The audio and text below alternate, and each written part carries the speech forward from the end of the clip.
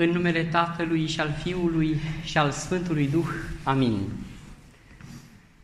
Învățătorule, toată noaptea ne-am străduit și nimic n-am prins. Dar după cuvântul tău vom arunca mreaja noastră.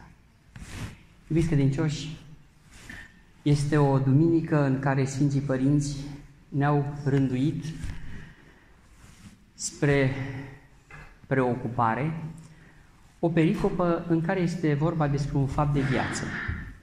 Ce s-a întâmplat pe malul lacului de Nizaret, atunci când Mântuitorul a venit și a văzut două corăbii, una lângă cealaltă, și a cerut lui Petru, lui Simon de atunci, să tragă corabia către țărm și s-a suit Mântuitorul în corabie și a vorbit mulțimilor. După ce a învățat mulțimile, i-a spus lui Simon să ducă spre adânc corabia și să arunce acolo mrejele lor. Și atunci Sfântul Apostol Petru, Simon de pe atunci, a zis, învățătorule, toată noaptea le-am străduit și nimic n-am prins, dar după cuvântul tău vom arunca mrejele noastre. Și aruncându-și mrejele, au prins mulțime multe de pești, încât au chemat și cealaltă corabie care era lângă lor și au încărcat peștele încât erau ambele corăbii să se scufunde. Și s-au mirat toți și s-au speriat atât de tare încât însuși Simon i-a zis, Doamne, mergi de la mine că sunt om păcătos. Și Mântuitorul i-a spus, nu te teme, Simone, fiul lui Iona, pentru că de acum înainte vei fi pescar de oameni. Iubiți credincioși, nu pot să nu îmi aduc aminte și de faptul că aceasta este ultima Evanghelie pe care am citit-o în calitate de diacon la catedrală, după doi ani și jumătate de străduință, în care vroiam ca fiecare liturghie să mă prindă și ca duhovnic și preot. După atâta străduință, am fost chemat într-o dimineață și să mi se spună, gata, a venit vremea. Și când am luat Evanghelia și am citit-o, mi-am dat seama că era Evanghelia mea. Mă străduisem toată noaptea, adică toată copilăria, toată adolescența, toată pregătirea mea teologică, să ajung preot și nimic nu-mi folosise. Nimic nu se adăugase până când Dumnezeu m-a chemat să mă facă din diacon în preot. Un pas foarte important, pentru că mi-a rânduit Dumnezeu să știu, să vă spun care a fost ultima mea slujbă de diacon. Cred că nu o să vă pot spune când va fi ultima de preot. Pentru că vă voi spune când a fost prima, pe aceea o știu, dar vreau ca Dumnezeu să nu-mi descopere când va fi ultima, pentru că m-a marcat atât de tare ultima mea slujbă de diacon, încât cred că este inclusă și cea de preoție. Până atunci însă mă voi strădui să caut cât mai multe sensuri ale cuvântului de astăzi. Și anume, am să vă vorbesc astăzi despre cum funcționează omul. Poate că vă veți întreba de unde și până unde. Nu, exact de aici. În fiecare dimineață pornim o nouă zi. Depinde de noi cum va fi ziua aceea și veți spune că nu depinde numai de noi, va depinde numai de noi. După cum am spus și altă dată, realitatea, să nu vă plictisesc acum să, vă, să iau pâinea profesorilor de fizică, dar din punct de vedere al mecanicii cuantice, realitatea este exact ca cea mai mică particulă dintr-un atom, care este 0,001%. Cealaltă parte, 99,999999 perioadă, este nimic. Dar se mișcă cu atâta energie partea aceea materială, încât noi trebuie să ne dăm seama că foarte mult contează momentul în care observăm mișcarea atomică. Devenim observator și în momentul în care ne-am fixat aparatura pe el, Asta înseamnă realitatea materială. Restul ce este? Energie. Să revenim la realitatea noastră. Realitatea noastră nu este altceva decât această minusculă parte materială. Restul este energia pe care o vedem noi, pe care o potențăm noi. Și anume, ne trezim de dimineață și ne dăm seama că n-am auzit soneria și că deja au trecut 10 minute pe care nu le mai putem recupera. Acum, ține sau nu de noi dacă vom începe ziua cu bine. Numai de noi ține. Pentru că dacă vom sta și să ne văicărim că am pierdut 10 minute, încă alte 10 minute de plâns, ne vom da seama până ieșim pe ușă că de fapt am pierdut 20 de minute și suntem pe cale să pierdem încă jumătate de oră. Dar nu s-a încheiat aici. Găsim mașina cu roțile desumflate. Și atunci se mai adaugă niște întârzieri. Până ajungi la autobuz, tu care nu știi să mergi cu autobuzul de prea multe ori, nu știi care sunt rutele, mă rog, până ți începi ziua, așa zis cu adevărat, deja ai pierdut o oră. De cine depinde acum cum poți să recuperezi ora aceea? În primul rând, nimic nu este de nerecuperat. Tot ceea ce se întâmplă este în mintea noastră. Așa funcționăm noi. Noi suntem energia care înconjoară materia cu așa viteză încât putem să facem ca materialul să nu se observe. Realitatea este acel material care să nu se observe, să nu se vadă pe noi când ajungem în fața șefului că ni s-a întâmplat ceva și am venit după un necaz. Nu trebuie să știe el lucrurile acestea. Pentru că s-ar putea să le interpreteze altfel. Dacă te vede, o să omorâci, a, tu lasă, că cine știe ce chefuri ai făcut, nu te-ai trezit de, de vreme, lasă-mă în pace. Nu, nu trebuie să se vadă. Contează foarte mult ce facem noi cu pietrele pe care alții le aruncă în noi. Nu contează cine și cu câte pietre aruncă în noi, ci contează ce facem noi cu ele. Vedeți, până la sfârșitul zilei se vor mai adăuga, pentru că știți, o zi când începe cu stângul, apoi numai cu stângul merge. Ba, erau niște lucrări pe care nu le-ai făcut altă dată și acum a venit scadența. Ba, îți dai seama că trebuie să te duci tu să iei copilul sau nepotul de la grădiniță și așa mai departe. Până seara se adună foarte multe. Ei, și seara cu ce te întorci acasă? Ține de tine dacă te întorci cu un sac de nervi care îți facă rău și fizic și clinic, sau ține de tine să spui, Doamne, îți mulțumesc că am ieșit și din atâtea încercări. N-am reușit totul, dar mă străduiesc să recuperez ce se poate recupera și să merg mai departe. Contează foarte mult să venim cu această atitudine pentru că această atitudine este de fapt căminul pe care îl creăm. Degeaba avem casă dacă nu avem cămin. Degeaba avem ceas dacă nu avem timp. Degeaba avem medicamente în toate sertarele dacă nu suntem sănătoși. Degeaba avem un pat confortabil, dar avem insomnie și nu putem dormi. Degeaba avem umbrelă dacă nu plouă. Iubiți credincioși, trebuie să știm că noi nu funcționăm pentru ziua de astăzi. Ziua de astăzi trebuie să fie în capul nostru. Viitorul nostru ne facem noi. Și anume, s-au făcut niște experimente și s-au chemat diversi voluntari cărora li s-a dat să se antreneze. Jumătate din ei au fost așezați în sala de forță și li s-a dat să ridice niște greutăți Cealaltă jumătate au fost, a fost introdusă într-o sală cu un ambient plăcut, cu o muzică, li s-a dat să citească și li s-a spus să-și antreneze numai în minte, să-și imagineze că ridică niște greutăți.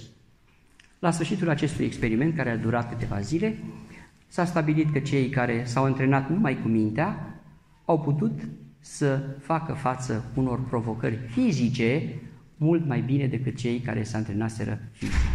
De ce? Pentru că mintea trebuie să fie antrenată. S-au mai făcut și alte experimente. S-a chemat un grup cărora li s-a dat să flexeze. Erau niște flexoare pe vremurile noastre de cauciuc, acum nu știu ce mai fac. Și au făcut de ce au făcut, 600, 1, 800 și așa mai departe. Și au zis, nu mai putem. Mă, sigur nu mai puteți? Nu mai putem. Le-a pus o muzică și au mai putut să mai facă vreo 10-15. După care au zis, acum chiar nu mai putem. După care le-a dat să citească și un text. Și au mai făcut încă vreo 15. Și când au zis ei că într-adevăr nu mai pot și nu mai pot, le-au luat flexoarele din mână și le-au așezat 12 volți cu un amperaj foarte mic și mâna făcea singură mișcarea. Asta înseamnă că nu mușchiul era cel care obosise, ci mintea. Nu suntem în stare să transmitem organului nostru mușchi sau la picioare sau la mâini sau în altă parte. Nu mai suntem în stare pentru că ne plictisim. De altminte, știți că diferența uh, majoră între uh, un calculator și un, o minte umană este aceea că se plictisește, în afară de mărunțișul acesta al uh, rapidității cu care un calculator poate să răspundă. Dar, uh, dincolo de asta, trebuie să știm că noi ne plictisim și de ce ne plictisim? Tot din cauza noastră. Dar apropo de calculator, știți că se fac tot felul de concursuri care se întreacă pe care fratele nostru uh, Ștefan Popa Popa s-a trecut calculatorul în ce privește calculatorizarea unor chipuri. Uh, nu mai știu dacă Karpov sau Kasparov a învins calculatorul la șah. Dar se fac tot felul de, de uh, concursurile acestea și la un moment dat se ridică un băiețel și spune eu pot să învin calculatorul. De ce? Eu sunt foarte rapid. La ce? La calcule. Și au spus ăștia, Ia zine mă, 875 mulțit cu 362. Și așa, fără să clipească măcar, a zis 785, 282. Fac ăștia ce da. dar nu e așa. Eu v-am spus că sunt rapid, dar nu exact. E acum, în încercarea asta noastră de a uh, intra într-o anumită competiție, trebuie să știm și lungul nasului. În ce constă concursul? În ce constă tot ceea ce facem noi? Dar noi trebuie să ne învingem pe noi înșine. Și anume, trebuie să ne învingem trecutul nostru. Orice lucru pe care îl facem se leagă foarte mult de ceea ce am făcut și în zilele trecute. Experiența noastră asupra unui lucru este foarte mult tarată de ceea ce am trăit emoțional făcând același lucru altă dată. Și de aceea, de cele mai multe ori, ne autolimităm. De ce? Pentru că la începutul unui drum deja avem în fața noastră trecutul, nu viitorul. Să ne gândim mai bine. Dacă vom fi atenți să ne proiectăm un anumit eveniment, să spunem, domnule, am fost mutat, disciplinar sau nu, cu locul de muncă de la Constanța la București. Nici nu vă spun dacă e mai sus sau mai jos, pur și simplu. În momentul în care ești la un început de așa drum, aș vrea să nu fim tarați de celelalte experiențe pe care le-am avut până atunci, că nici aici n-am ajuns deodată. Am ajuns de undeva de jos. Eu vorbesc pentru cei care au o evoluție firească, de jos în sus, nu de sus în jos. Dacă am fi în stare să nu mai gândim emoțional la ceea ce s-a întâmplat în experiența anterioară, putem să lăsăm într-adevăr viitorul pe care noi să-l construim să ne surâdă frumos. Dar noi mergem acolo deja, a, am mai pățit-o eu pe asta. Gata, s-a terminat. Viitorul nostru a căzut și în spate s-a proiectat trecutul, ca la sala de cinema. Când trece cineva în fața ecranului, nu mai vezi ce e pe ecran, vezi ce se proiectează pe propria lui făptură, care se mișcă de colo-colo. Așa este și cu visele noastre. Și ca să înțelegeți mai bine visele, când veți vedea vreun copil care merge la școală cu un ghiozdan în spate, să știți că acel ghiozdan poate să fie așezat exact pe aripile lui. Dacă nu suntem atenți și continuăm să așezăm ghiozdane grele peste aripile copiilor sau nepoților noștri, să știți că vor ajunge și ei în situația în care să aibă în față trecutul, nu viitorul. Eu chiar îmi aduc aminte când erau fetele mici la grădiniță, am găsit acolo un copilaș care era de vreo 5 ani la grădiniță, vă imaginați, și era 6 ani. De la un an era săracul în grădiniță și care sub ochii și în auzul urechilor noastre a întrebat-o pe maică sa, mamă, după ce termin grădinița, ce fac? Și a zis, maică sa merge la școală până la clasa 8 și după aia te duci la liceu și după aia te duci la facultate și după aia la masterat, după aia la doctorat. Da, e, mamă, știi ce? Eu, după ce termin grădinița, m-am plictisit de tot. Nu mai fac nimic. Ei, trebuie să fim foarte atenți. Să nu plictisim copilul înainte de vreme, dar putem să-l plictisim și după vreme. Adică eu cunosc foarte mulți copii care în clasa 1 sunt așa de plictisiți de faptul că nu se mai predă nimic nou, pentru că de la bunica știe litera A de când s-a născut, de la nu știu care mătușă știe cât fac doi cu doi, de la nu mai știu care unchi știe să cânte, de la altul să danseze, de la altul să deseneze și în clasa întâi când se duce bietul copil, așteaptă și el ceva nou. Păi de la ăla a învățat aia, aia, ce sunt? Începe cu litera A. Păi și pe asta am mai făcut o bred. M-am plictisit, deja am șase ani de când știu litera asta.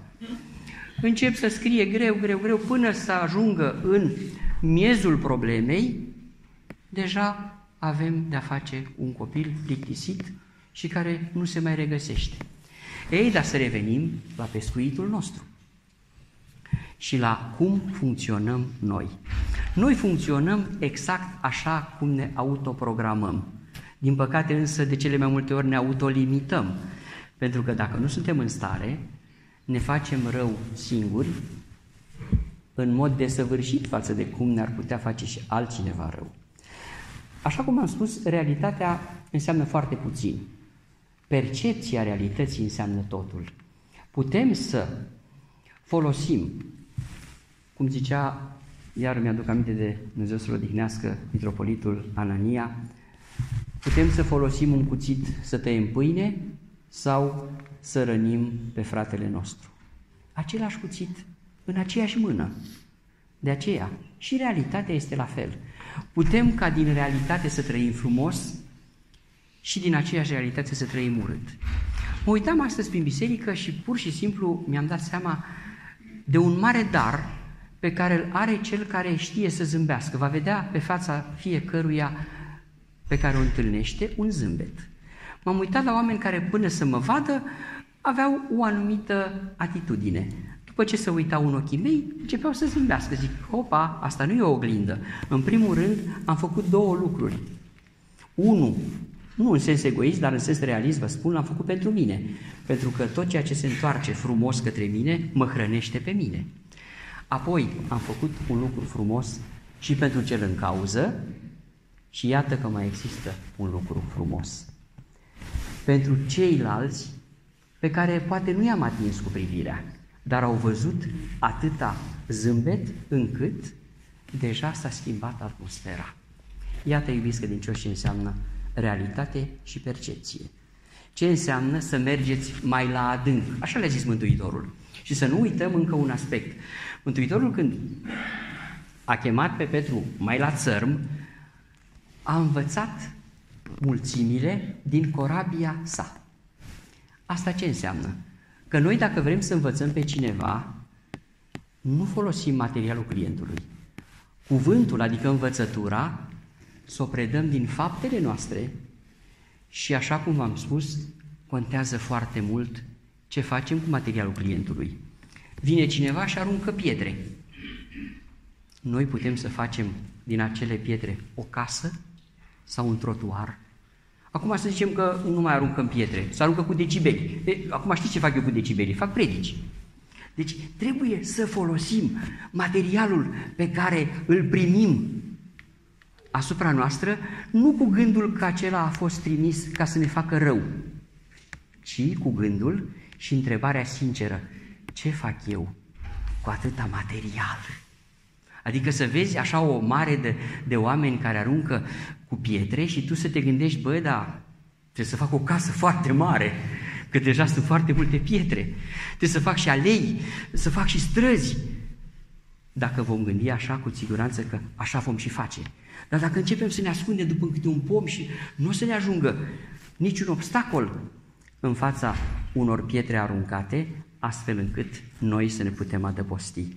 De aceea, când Mântuitorul s-a urcat în corabie, ne-a învățat că ceea ce este la îndemâna noastră ține de noi, adică era în corabia lui Petru. Apoi a zis, mergi mai la adânc, adică nu te mulțumi cu lucrurile acestea de suprafață, mergi mai la adânc. Și la adânc i-a zis adevărul, te voi face pescar de oameni. Adică din toate meseriile pe care le îndeplinim în lumea aceasta, există și un mai la adânc. De exemplu, dacă suntem profesori la catedră, mai la adâncul nostru știți ce este? Copilul din noi, căruia trebuie să-i răspundem întrebărilor pe care le avea la vârsta la care nu a avut un profesor pe care să-l întrebe. Și noi să răspundem, asta înseamnă să fii mai la adânc, să fii ce n-ai avut, să fii profesorul desăvârșit pe care l-ai căutat și nu l-ai avut, să fii tatăl cu a cărei, a cărei carități nu le-ai găsit la ai tăi, să fii bunicul pe care nu l-ai avut și să fii pentru nepoții tăi. Asta înseamnă să mergi mai la adânc. Mai la adânc nu înseamnă departe, înseamnă adâncul nostru. Adică să înlocuim trecutul cu viitorul. La noi este, în mintea noastră, v-am spus, trecutul, dar noi trebuie să-l transformăm în viitor. Copilul nostru care este trecutul în noi, trebuie să-l transformăm în viitorul copil pe care îl educăm și în urma cărei educații putem să ne mulțumim și putem să fim luminoși când îl prezentăm celorlalți. Iubiți credincioși, eu unul personal am trăit astăzi o liturghie care m-am împotmolit de câteva ori, pentru că așa sunt eu, emoționat de viitorul pe care mi-l aduc aminte, pentru că în momentul în care am primit hirotonia, aveam de fapt un viitor în față. Sfântul Nicolae Vechi mă aștepta să nu vin cu din trecutul locașului care a fost închis aproape 50 de ani. Să vin cu viitor și pentru mine, dar și pentru locaș și pentru cei care sunt în fața mea. Și de aceea, în slujba de astăzi, am trăit mai departe un viitor frumos, în care să fiu sigur numai de momentele din care am plecat, dar aceste momente să devină frumoase pentru cei care să mă găsească întotdeauna proaspăt, să mă găsească întotdeauna luminos, zâmbitor, pentru că vreau să vă fac o urare așa cum făcea Mozart într-un dialog imaginat de profesorul meu de franceză, domnul profesor Rădulescu, Mihail. A spus așa, Mozart, de ziua lui, i-a spus tatălui său un cuvânt frumos. Tată, de ziua ta, nu îți urez nimic ție, îmi urez mie să ajung om mare, ilustru, să te mândrești cu mine. Cred că aceasta este cea mai frumoasă urare.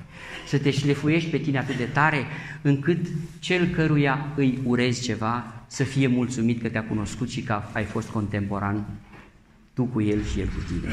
Iubiți credincioși, dincolo de o falsă modestie pe care aș putea să o afișez, că mă pricep și la destea, vă spun că am să las harul să lucreze, dar nu numai pentru mine, ci mai ales pentru cei cărora m-a încredințat ierarhul să transmit mai departe ce înseamnă energia necreată, adică Duhul lui Dumnezeu care lucrează peste noi. Să fie cu folos în această zi în care mi-ați îngăduit să-mi aduc aminte de cei 24 de ani care au trecut de la întâlnirea mea cu Harul preoției și să vă urez să mă vedeți zâmbitor mereu. Așa să-mi ajute Dumnezeu.